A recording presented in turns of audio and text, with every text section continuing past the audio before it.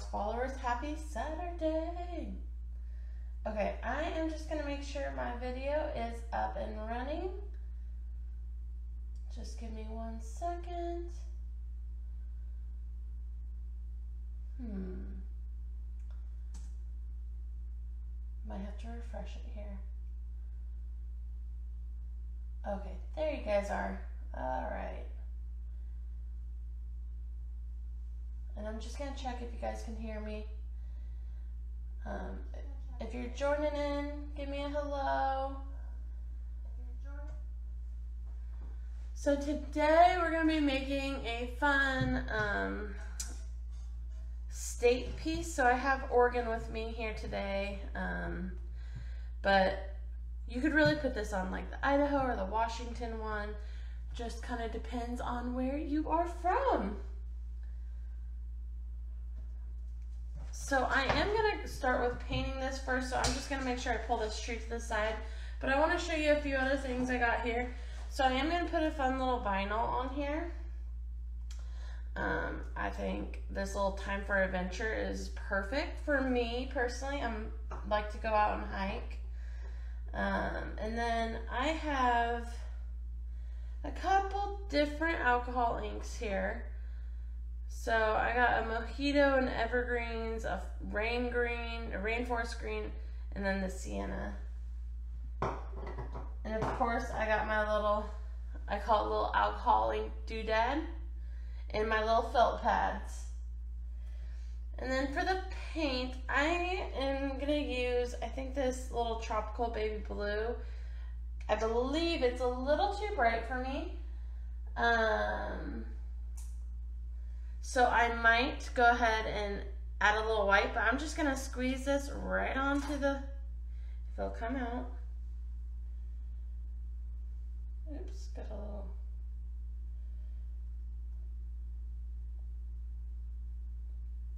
I have something plugging the hole, sorry, give me a second.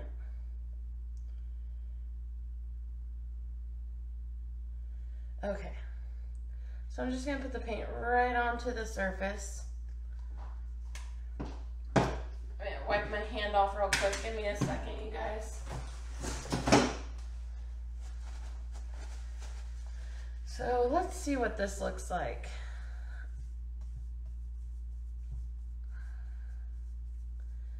And I'm not using any special brush. A foam brush would do great as well. I think I probably will end up adding a little bit of white. This is a little too blue for me, too bright of blue. But that is just a preference. Now I kind of chose blue because it kind of, for Oregon, it reminds me of the license, or Washington. Which one is it? One of the state license plates. But I also love the way that the green on this alcohol ink is gonna look once the trees are put on here. I'm gonna, I'm really trying to spread this thin because we're gonna get this to dry by the time we go to put it on.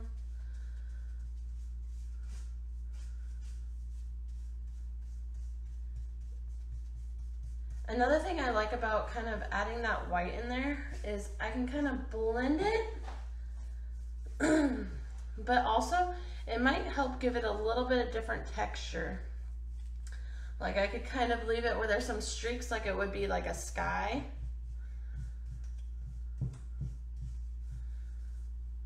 And again, very easy to paint this piece. Okay. Let's go ahead and I'm gonna add some of that white now.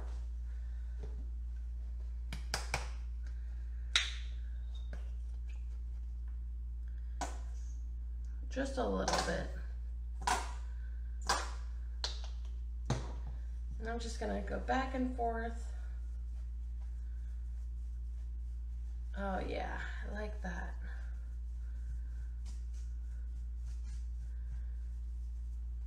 Just kind of gives it a whole nother little texture. It kind of dulls it down just a little bit.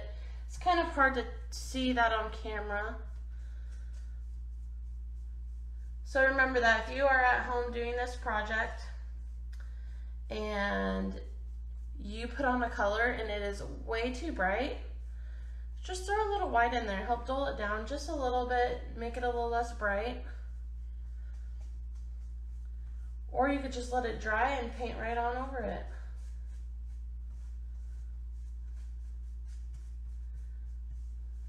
Okay, I might go ahead and add just a tad more white.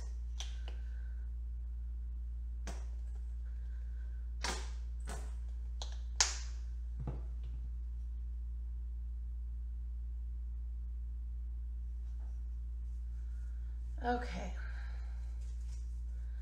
So I'm just going back and forth, filling that white in.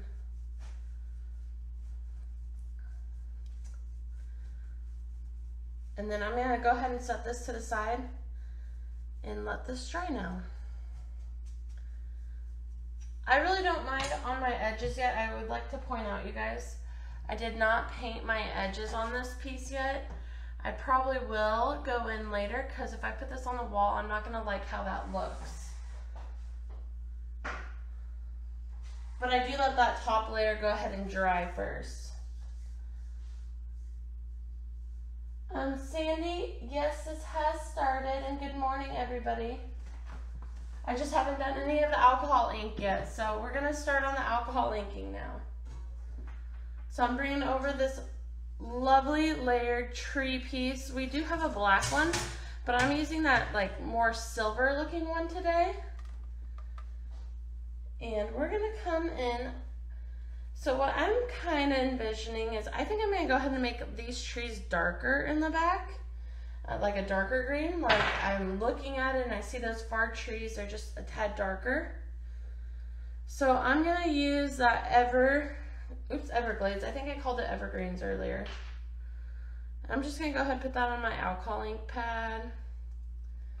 And then I have some alcohol ink blending solution and I am gonna go ahead and add a little bit of that. You don't have to for this piece, but I still like how it looks.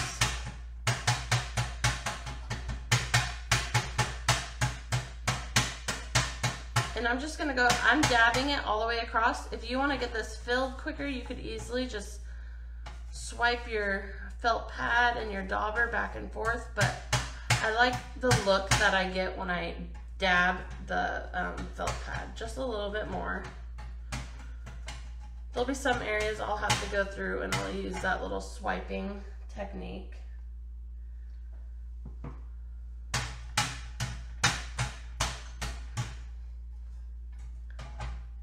Okay.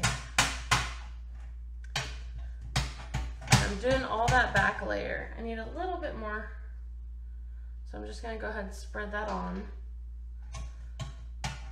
I'll probably let that dry and then I'll come back in and put another layer and then I might add a little bit of that mojito green onto that background too. But we'll see how this piece ends up. If any of you guys are tuning in and also kind of wondering, this surface I have is that Tim Holtz glass media um, mat and I love it because after I'm done, I can just come through and I just take a, I personally take the Clorox uh, disinfectant wipes and just wipe away my mess. Um, I know if you're just doing alcohol ink, some people will use, gotta get my tag off. Um, we'll just go ahead and use a blending solution, but I already got the wipes around, so I tend to just use that so I can make sure I get it all nice and clean.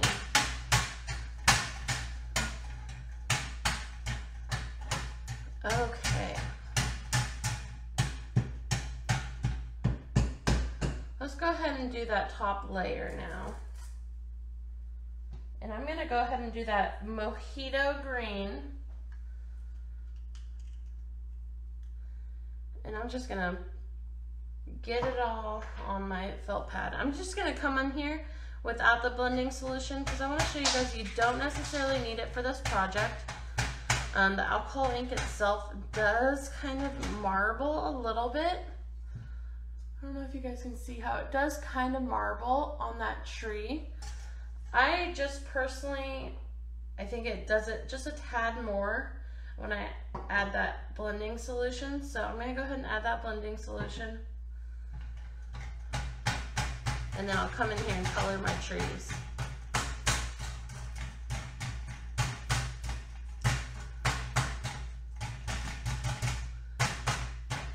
Ooh, I love the lighter trees on top. I'm glad I ended up doing that. That was kind of a last minute decision.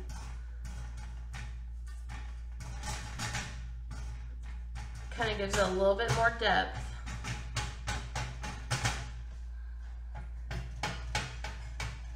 Okay.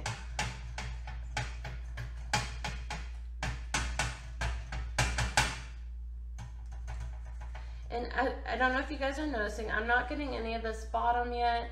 I'm gonna come in with some different colors, a different color. I don't want it to all be green. I wanna get some brownish kind of tones in there.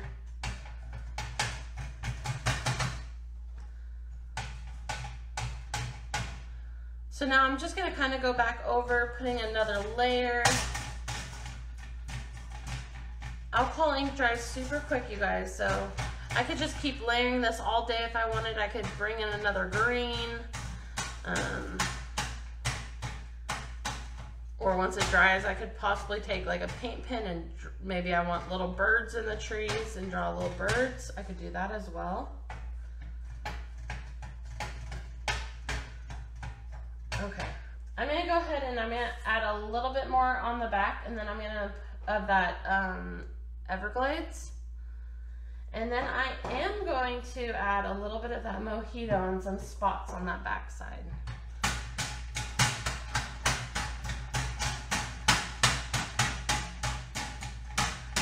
See, using that blending solution, I'm getting parts on my tree that's like darker and some that are a little bit lighter and that's exactly what I was wanting.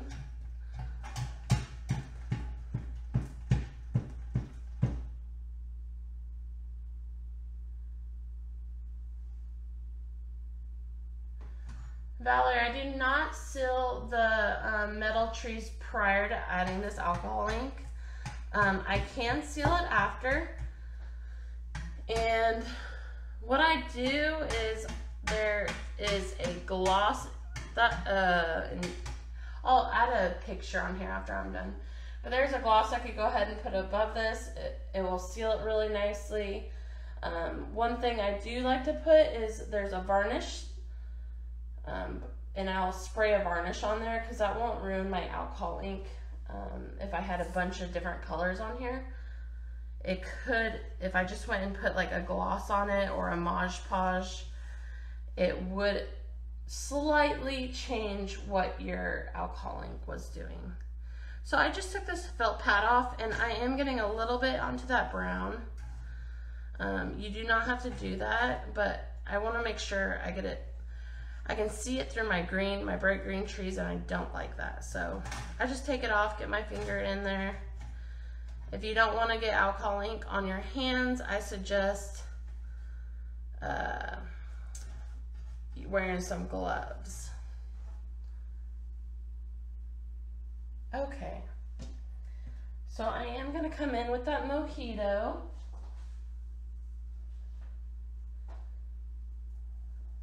I'm just taking that felt pad again, coming in with that mojito again, blending solution, and then I'm just gonna kind of put some spots here and there on that back layer.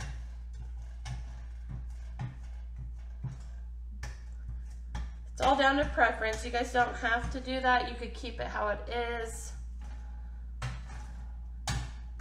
I'm just looking for another little texture.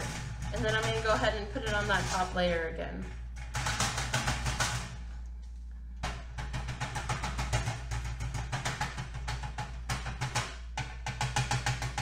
See how I come in with that next layer and I, I'm getting some of those brighter greens versus just going through once and leaving it.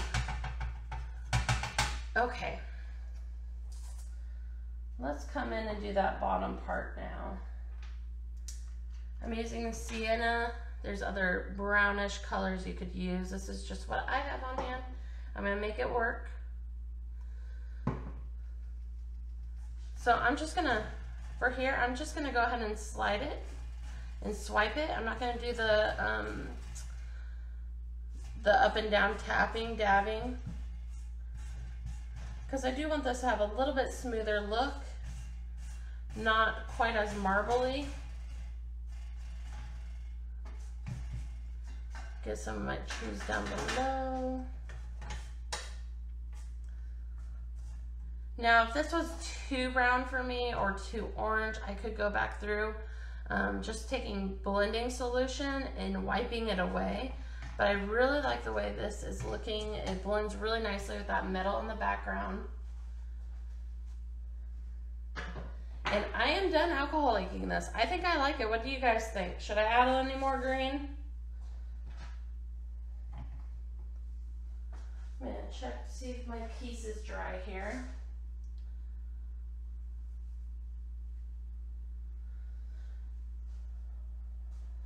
Okay, I'm gonna bring this piece in, but I am gonna, I have to go ahead and take a heat gun to it because it is not quite dry yet for me.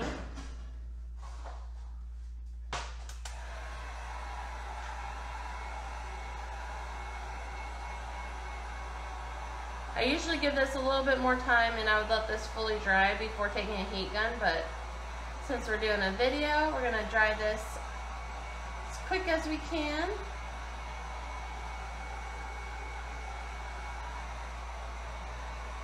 Now I'm kind of thinking about the placement of my trees while I'm drying this.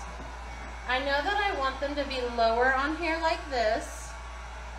Um, I don't know if I want it to be centered or a little off-centered. I have a feeling if I do it centered, I'm going to get a lot of more empty space that I'm not going to be able to play with. Um, so I'm probably going to off-center it.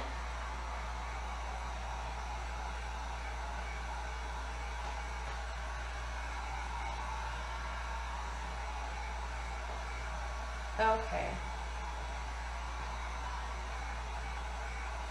So I'm almost dry here, you guys.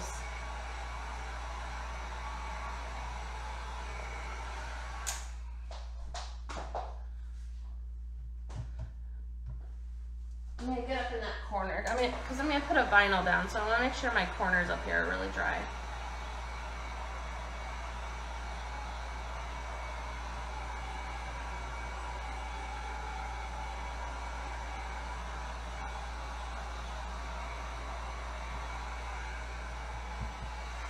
Okay. So what do you guys think? Should I center this or should I off center it? I'm thinking if I off centered it, I could kind of have it come off the state a little bit, which would be fun. And I could actually leave, if I did that, I'd have room for me to put a picture, which would be so fun and a really good gift. Like I could give that to my mom. Yes, Sandy, I did go ahead. This was a wood and I painted over this. And then this is all alcohol inked on here. I think I kind of like the off-centered a little bit. Now I know for the Washington state I did, um, it has, you know, the little, all the little smaller pieces over here. Um, I did go ahead and off-centered that and was able to mess with the vinyl a little bit more. But I'm thinking I might, I'm going to come in with a picture after this. I don't have a frame with me, but I think that would be so cute. Valerie's saying off-centered. See what all you guys think. So I got it a little off-centered or I could center it. Yeah, I don't think I like it centered. And I definitely, I personally like it to the right a little bit more because I got a little bit more texture up here and this is a little bit more square.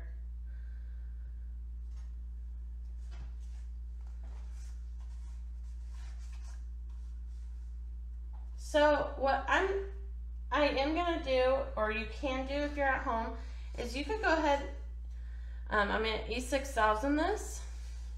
My container is actually not squeezing. I think I glued it shut, so I can't do it on the video. But you're just gonna take the E6000 and then you're just gonna push it down here. You'll let it dry. I kind of usually hold it um, for a good amount of time and then I will sometimes go and place um, a few things to just hold that pressure while this dries for 24 hours. Um, that's just a personal preference. If you do have the, um, like a staple gun at home, you are able to staple gun this to the piece. And I've done that. And what I do is I'll come in with a little alcohol ink. So if I have it on that brown, I'll take that sienna and I'll just kind of color my staple. And it just blends in so nicely.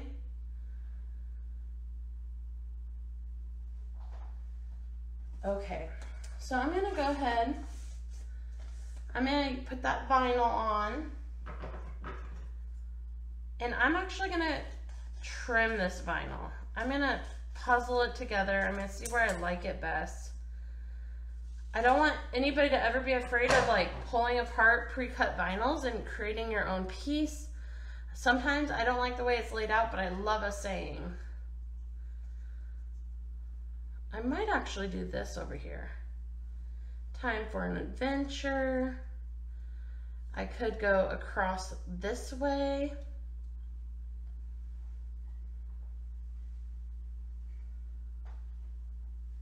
What do you guys think?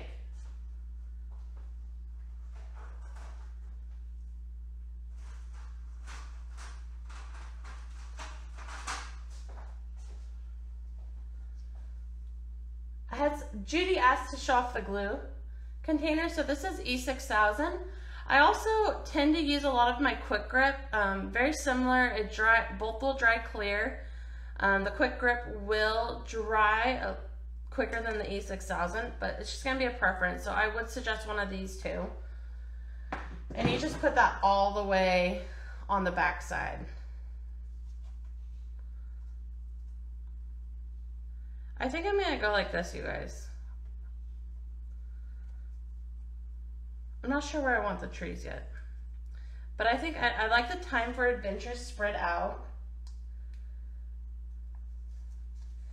Um, one thing about this vinyl, what I like to suggest is always laying it down on your flat surface and I like to go across the top with something that's a blunt edge. I always have crafts, craft popsicle sticks with me, so those are always my grab and go and you just peel corner to corner.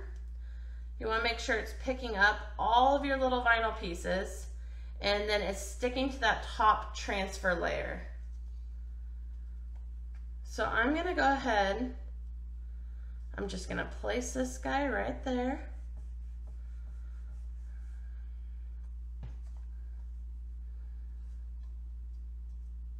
I, let's see what you guys are saying. Let her down left side. Leave it off centered. Okay, I'm gonna go ahead and keep it off centered.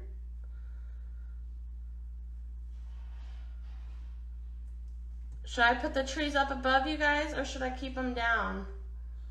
I'm not sure. Ah.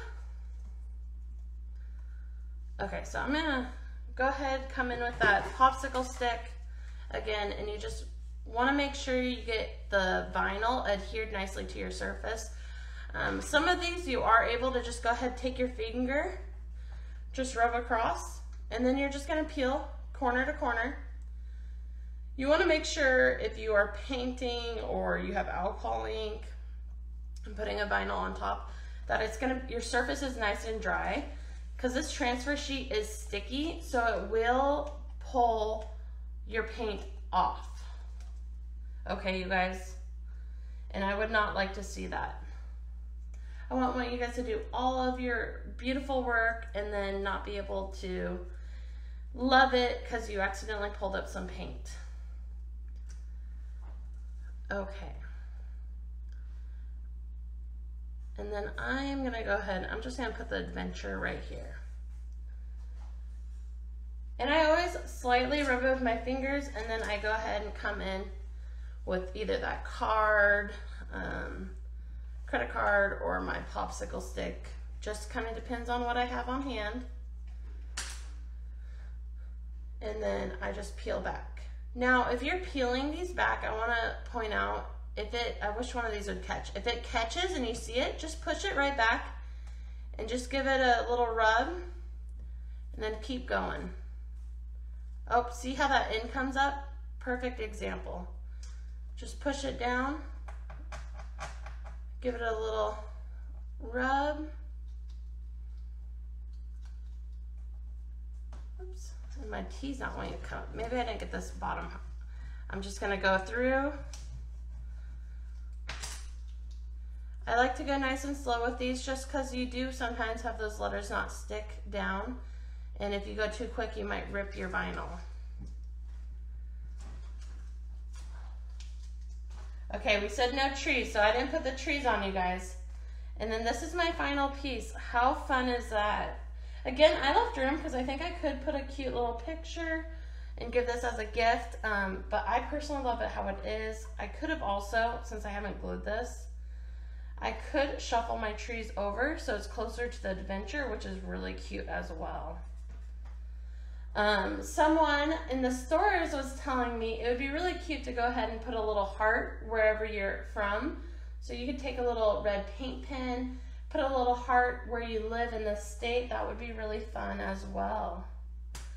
But yeah, easy peasy, you guys. All you have to have is paint and some alcohol ink and you can create such a beautiful piece here as a gift or just for your home.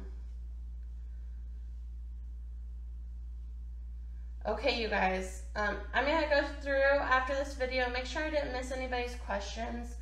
Um, I will show, I, I know some people had problems with uh, the video starting, so I do wanna just show off, I have the ceramic, ceramic coat Tropical Blue, oh my gosh, Tropical Bay Blue, sorry you guys. That's what I put down for the background with a little bit of white that I just kind of whitewashed in. And then, let me put my caps on here. For my greens, I did just use the Ranger Everglades and the Mojito. And then for that brown piece, I used the Sienna. And that was from Ranger. And then of course, my alcohol blending solution and then my alcohol ink applicator with the felt pads. So just little felt pads that go right onto that Velcro. And then your choice of E6000 or quick, quick grip to go ahead and add it to your surface and just give it some time to dry and adhere and you're ready to get it all hung up. Um, I would point out on the back of this,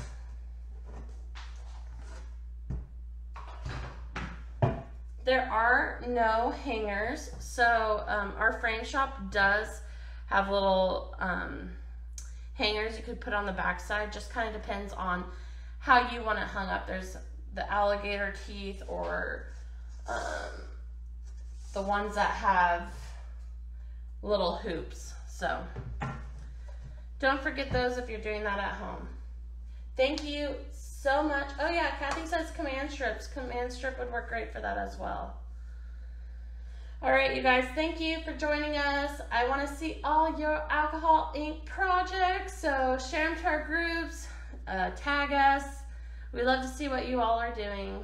Thank you. Happy Saturday. Hope you get to enjoy the beautiful weather.